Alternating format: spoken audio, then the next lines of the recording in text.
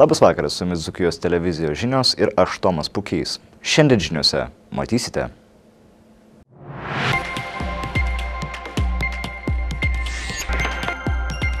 Šiandien žiniuose.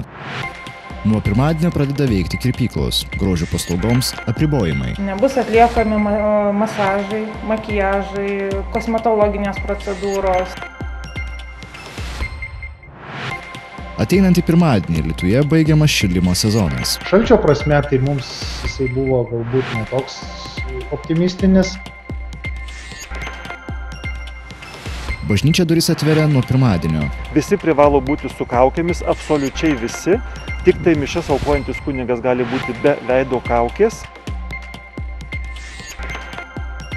Viena iš auksinio kadro laureačių Lietuvoje litiškė fotografė Zita Stankievičianė. Tikrai nesitikėjau, nes ypač Alitaus ekologistikoje gaisrą fotografavo praktiškai visi Lietuvos fotografai.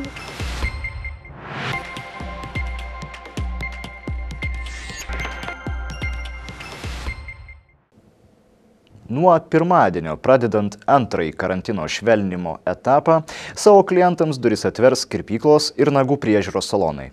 Tačiau aptarnauti klientus jie galės tik laikydamiesi jiems skirtų reikalavimų ir rekomendacijų. Nuo pirmadienio pradedant antrąjį karantino švelninimo etapą savo klientams duris atvers grožio salonai. Rūpinantis klientų sveikata tam tikrų grožio paslaugų dėje kol kas nebus galima teikti. Alituje įsikūrusios grožio studijos Ana savininkė Daina Stanionė žada po truputį pradėti dirbti jau nuo pirmadienio ir teikti tik leistinas, tai yra plaukų ir nagų priežiūros paslaugas. Esame jau pasiruošę, todėl kad šiandien gavome sprendimą Lietuvos Respublikos sveikatos ministerijos, kaip kas turi būti vykdoma. Tai dirbs mūsų kirpėjos, tai plaukų kirpimai, dažymai ir manikiristės, manikiūrai, pedikiūrai nebus atliekami masažai, makijažai, kosmetologinės procedūros, kūno depiliacijos, antakių, vat, visos procedūros. Kas labai arti veido, tai šitos dar kol kas ne, nebus atliekamos. Grožio studijos savininkės Dainos Tanionės teigimu, salone griežtai bus laikomasi visų saugumo reikalavimų bei ribojami klientų srautai. Tvarka tokia, kad nedirbsim visos, nes vienam klientui reikia 10 kvadratinių metrų, nu, kartu su meistru. Tai jeigu mūsų patalpa didelė, mes turbūt keturios kirpėjos dirbsim, telpam, e, primsim tik tai po vieną klientą, mm, tarp klientų darysim pertraukas tam, kad galėtum išdezinfekuoti darbo vietą, pasikeisti įrankius. Nu, va taip tikrai nepriimsim laukti, sėdėti ant, ant sofos, kaip būdavo ten su kavyte, greičiausiai ir kavos atsisakysim, nu, žiūrėsim, saugosimės. Klientai sužinojo, jog atsidarys kirpyklos, suskubo registruotis, tačiau visgi dėl įgyvendinamų dezinfekcijos, vėdinimo, kitų saugą užtikrinančių priemonių visų norinčių iškart priimti nėra jokių galimybių. Kirpėja Daina dėl to tikisi visų klientų samoningumo ir supratingumo antplūdžio sulaukėm visos klientės norėjo būti pirmos užrašykit mane pirmą šiaip mum jos visos pirmos ir visos labai svarbios bet nu prašom tikimės supratimo nes tikrai daug klientų nepriimsim per vieną dieną bet po truputėlį po truputėlį sutvarkysim visas Karantino metu uždraudus dirbti visoms grožio paslaugas teikiančioms įstaigoms grožio meistrai, kuriam laikui liko be pajamų, klientai be paslaugų. Grožio studijos savininkė Daina Stanionė neslėpė, jog dėl to taip pat patyrė didelių nuostolių. Skaičiuot neskaičiavom, bet iš tikrųjų tapom visos 11 per vieną dieną bedarbėmis. Taip kad nuostolių tikrai didelių patyrėm, nes nu, sunkus laikas buvo, bet tikiuosi, kad po truputėlį atsigausim. Dėl patirtų nuostolių bei saugumą užtikrinančių priemonių pabrangimo tikėtina, kad grožio paslaugų kainos irgi šiek tiek padidės aš galvoju kaip ir turėtų keistis šiek tiek pabrangti nes labai išbrango dezinfek dezinfekcinės priemonės servetėlės dezinfektantai kaukės pirštinės jeigu buvo penki eurai dėžutė dabar penkiolika dvidešim iš tikrųjų labai stipriai išbrango šitie tai manyčiau kad turėtų keliais eurais brangti Vilma Skroblienė, Marius Šagunevičius, Dzukijos televizija. Alituje baigiamas šildymo sezonas. Šiandien Alitaus miesto savivaldybės administracijos direktorius Rolandas Jaunys pasirašė įsakymą dėl 2019-2020 metų šildymo sezono pabaigos. Apie tai kolegė Dina Barnauskaitė kalbina Alitaus šilumos tinklų direktorių Mindaugą Nevardauską.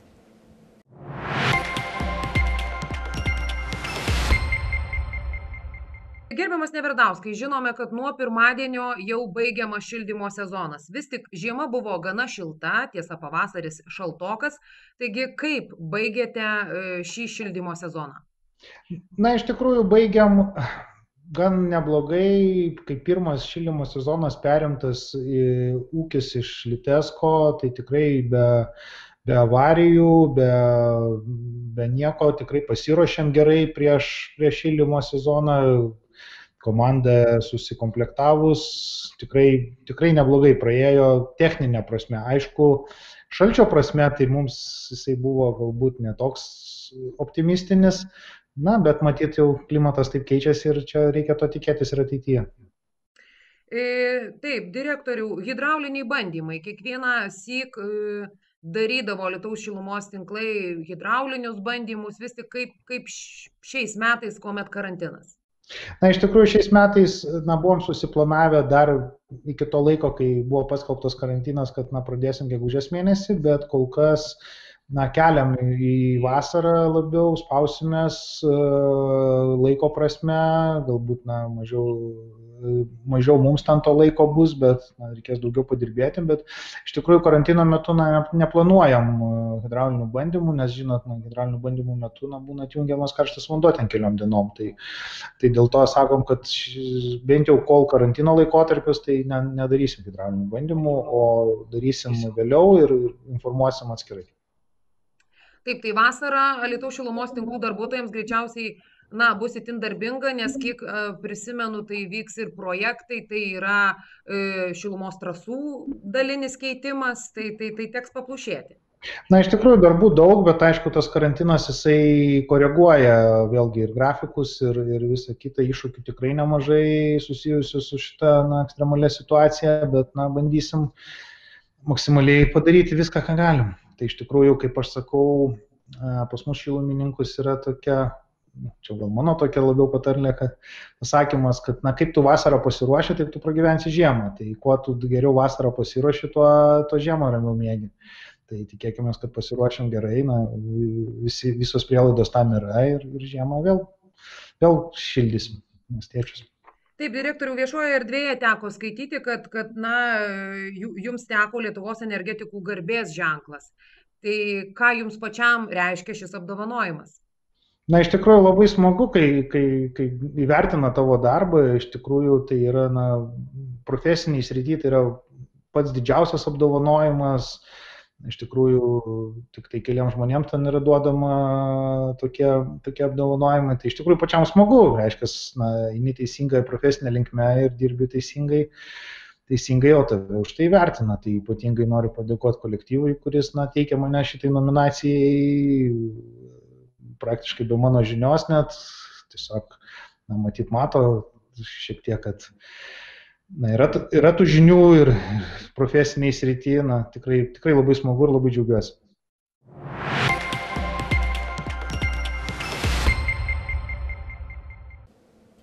Na, o dabar keletas neįprastų video kadrų. Alitaus Vitsgirio progymnaziją aplankė ir netgi į vidų užsukti norėjo nekviestas svečias. Briedis. Sunku patikėti, kad gyvūnas tiesiog vaikštinėjo Lietuvos mieste. Vaizdus fiksavo progymnazijos laukia įrengtos vaizdo stebėjimo kameros.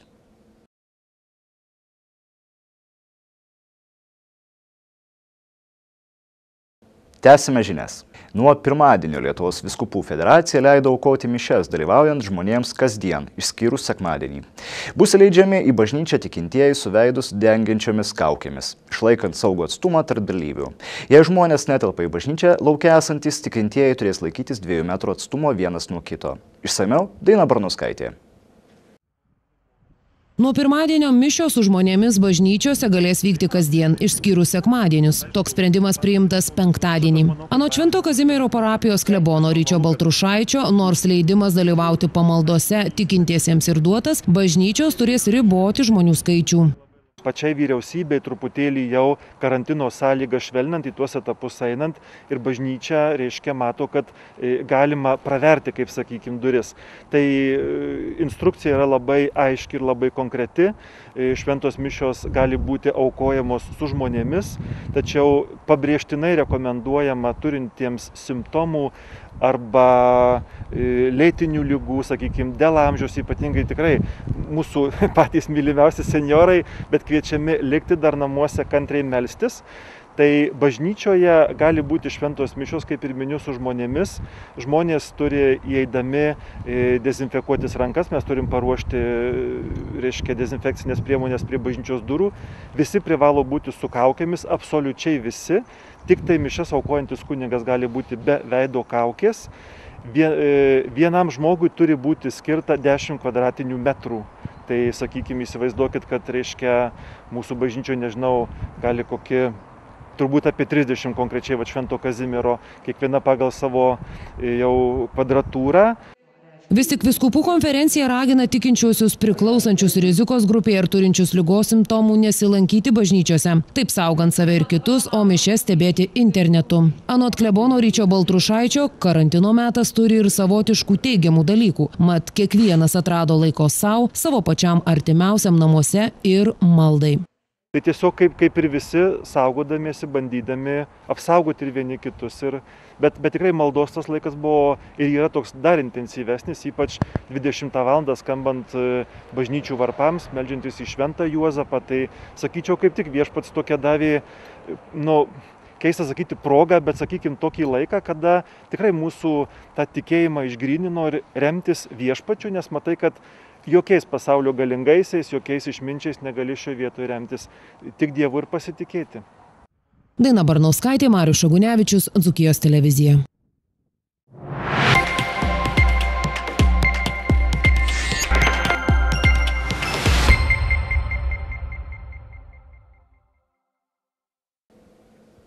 Lietuvos spaudos fotografijos 2020 konkurse viena iš laureačių auksinio kadro apdovanojimuose alitiškė fotografė Zita Stankievičianė. Ji įamžino praeitais metais vieną didžiausių Lietuvos ekologinių nelaimių – gaisro akimirką ekologistikoje. Kaip juokauja žinoma fotografė Zita Stankievičianė, ji niekada nebūna viena. Aš, mano fotoaparatas ir dviratis, sako moteris, Lietuvos spaudos fotografijos 2020 m. konkurse tapusi viena iš laureačių auksinio kadro apdovanojimuose. Apdovanojimai Zitos Stankievičianės darbinėje veikloje nenaujiena, tačiau šį kartą sako nesitikėjusi, kad bus įvertinta aukščiausius fotožurnalistikos standartus atitinkančiame konkurse. Komisija įvertino jos nuotrauką paskutinę dieną. Tai 2019 m metų spalį įamžinta paskutinioji Alitaus ekologistikoje gaisro diena. Praėjusiais metais Alitoje vyko keletas tokių įdomių dalykų, kur, kaip supratau, verta tas fotografijas pasiūlyti. Žinoma, kad jos paklius į e, konkurso galutinę atranką, vis tik ten dirba tarptautinė e, vertinimo komisija, tai jau tikrai nesitikėjau, nes ypač Alitaus ekologistikoje gaisrą fotografavo praktiškai visi Lietuvos fotografai ir visų didžiųjų ir agentūrų. Ir na, tai buvo tiesiog praėjusiu metu be ne pats skaudžiausias, juodžiausias įvykis mūsų Lietuvos istorijoje. Ir tikrai pasisekė, pateko būtent viena fotografija į, į konkursą, pateko tarp nominuojamų kadrų, nežinau kaip bus toliau, kadangi tik pasibaigus korono karantinui bus rengiamas renginys kasmetinis, jis vyksta Vilniaus rotušėje, ten būna apdovanojami geriausiai šalies fotografai ir, ir e, būna didžiulė paroda, labai e, gražus pats renginys, daug garbingų svečių 2020 m. Lietuvos spaudos fotografijos konkurse dalyvavo 3700 nuotraukų, kurias pateikė 120 Lietuvos fotografų. Jų kūrybą vertino tarptautinė komisija iš Lietuvos, Italijos ir Rusijos. Per 19 konkurso metų auksiniu kadru Zita Stankievičinė buvo apdovanota ne kartą. 2013 metais fotografija pagavo auksiniu tapusi originalų rinkiminį kadrą vieną rytą autobusų stotelėje. Taip pat už šimtametės ir jos šeimos akimirką bei rinkiminę 2002 akimirką su žmonėmis žmonėmis prie Alitaus arenos laukiančiais sraigtasparnio, kuris skraidino tuomet būsimą Lietuvos Respublikos prezidentą Rolandą Paksą. Aš esu dėkinga fotografijai, savo gyvenimo duonai maitintojai, draugiai ir taip toliau.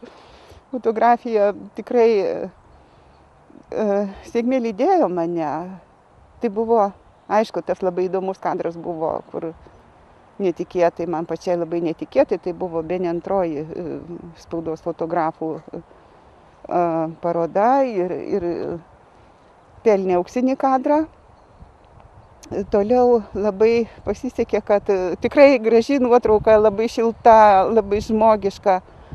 Tai antrasis auksinis kadras buvo um, Angelės Jančiorienės, jau amžinatelis, jau jinai buvo gal šimtą metę, tai šiušų, šiušienės laimutės mama ir su Jurgiu Kohansku tuomet rengėme reportažą Lytos naujienams ir, ir, ir tikrai aš labai norėjau, žodžiu, apjungti juos kažkaip bendrame portrete ir, ir, ir tikrai man pasisekė. Beje, karantino laikotarpiu fotografija į savo archyvus miestą pažvelgė dar kitų kampų ir brandina jau naujas parodas prisiminiau netikėtai vieną mintį, kad e, jeigu nori, kad e, pailsėtų tavo kūnas, susilaikyk nuo maisto.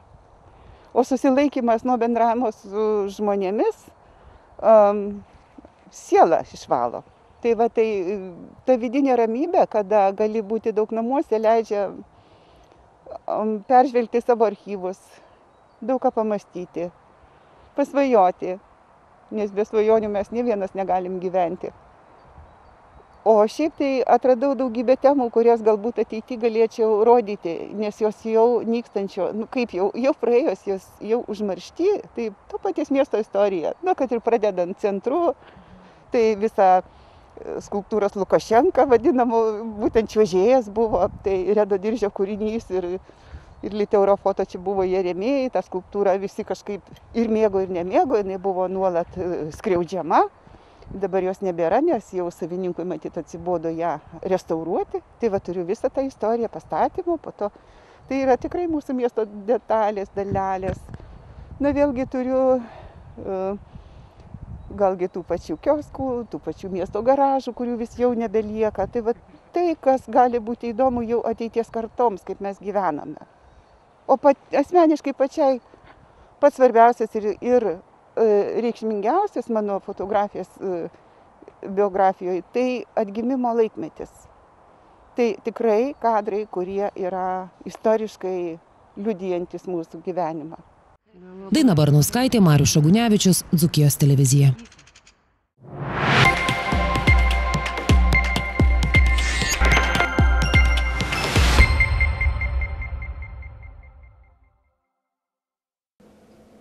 Toliau žiniuose matysite dienos kriminalus.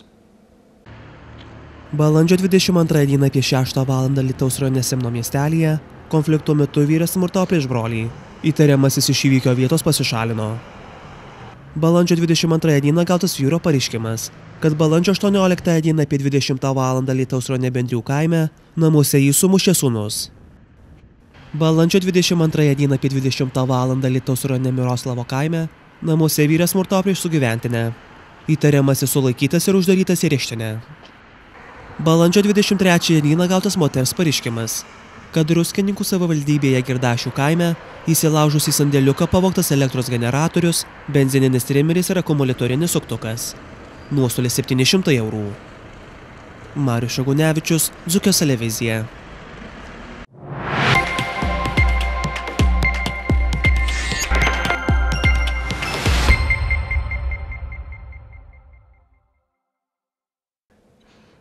Asmeniniai ir grupinių treniruočių trenerė Dovilė Petravičinė šį kartą demonstruoja pratimų seriją skirtą pilvo raumenims.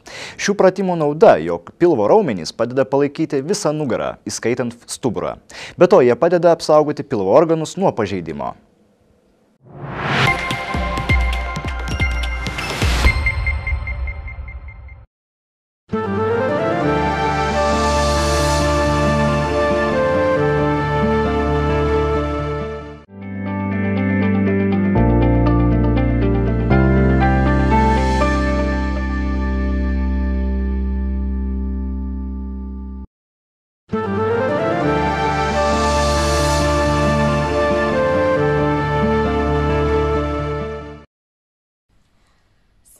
Esu trenerė Dovilė, kviečiu kartu atlikti seriją pratimų skirtų pilvo raumenims. Pradžioje atsigulam nugarą ant kilimėlio. Kojos ir rankos tempėsi į šalis. Giliai įkvepiam, išilginam kūną. Iškvepiam, dar kartą įkvepiam. Iškvepiam. Kojas sulenkiam. Rankos už galvos.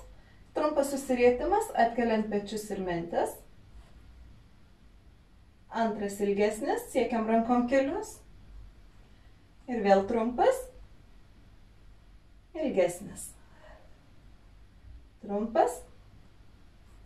Ilgesnis. Vienas. Du. Tarpelis tarp smakro ir krūtinės. Dar keturi. Trys.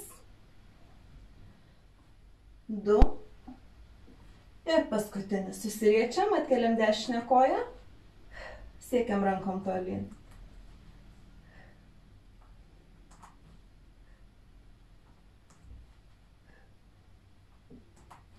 Vienas. Du. Vienas. Du. Dešinę. Kairės makras aukštai. Dar keturi. Trys. Du. Paskutinis. Rankos už galvos, pečiai atkelti. Tiesiam kojas. Ir leidžiam kartu žemyn. Įkvepiam, keliam. Iškvepiam. Įkvepiam. Iškvepiam. Įkvepiam. Iškvepiam. Jei per sunku išlaikyti tiesias kojas, sulenkiam.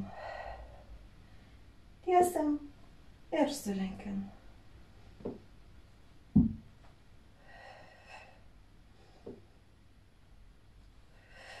Dar du kartai.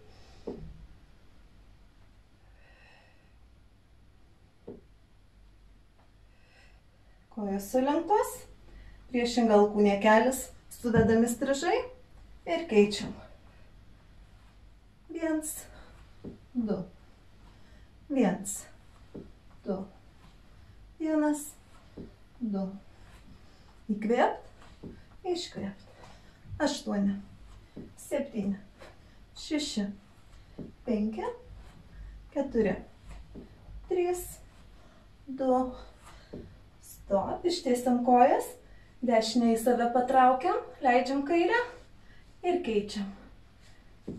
Pečiai aukštai, smakras ilgas, viens, du, viens, du, viens, du, kvėpt, iškvėpt, aštuoni, septyni, šeši, penki, keturi, trys, du ir paskutinis pratimas, kojos sulenktos, rankos už galvos, susiriečiam, dešinę koją tiesiam, kairę. Dešinę, siekiam rankom tolyn, kvepuojam, vienas, du, vienas, du, dar aštuoni, septyni, šeši, penki, keturi, trys, du, paskutinis, prisispaudžiam kelius prie krūtinės, pasukam galvą į vieną pusę, spaudžiam ausį, atpalaiduojam kaklą, sukam galvą į kitą pusę, dar kartą išsitempiam, išilginam kūną, įkvepiam, iškvepiam, įkvepiam, iškvepiam, atsisėdam. Ačiū, kad buvote kartu, iki sekančio karto. O dabar norime pranešti, kad ne visi bandymai sportuoti namuose būna sėkmingi. Bei kviečiame pasižiūrėti, kokie juokingi atsitikimai nutiko sporto mėgėjams.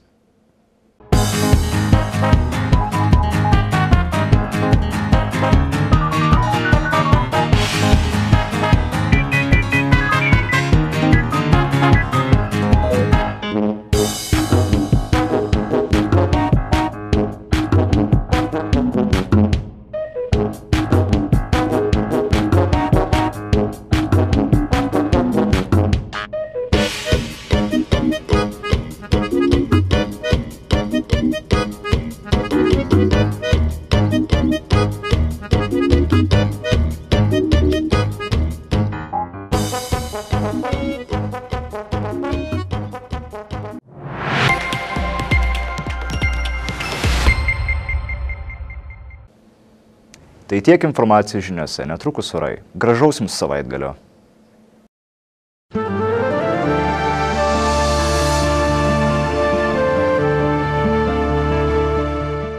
Orų rubrika remia Sumani TV, naujos kartos Seagates televizija.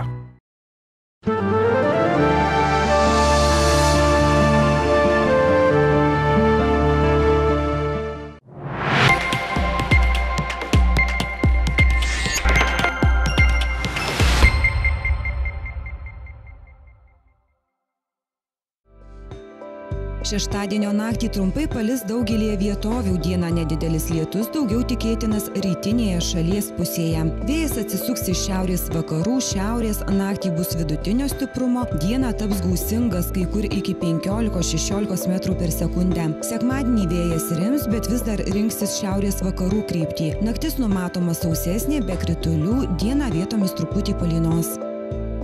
Artimiausią naktį Lietuvoje numatoma vos vieno, Kaune ir Vilniuje dviejų, o Klaipėdoje trijų laipsnių šiluma. Šeštadienio dieną Lietuvoje ir Kaune termometro stulpelis pakils iki 12, Vilniuje 11, Klaipėdoje iki 10 laipsnių šilumos.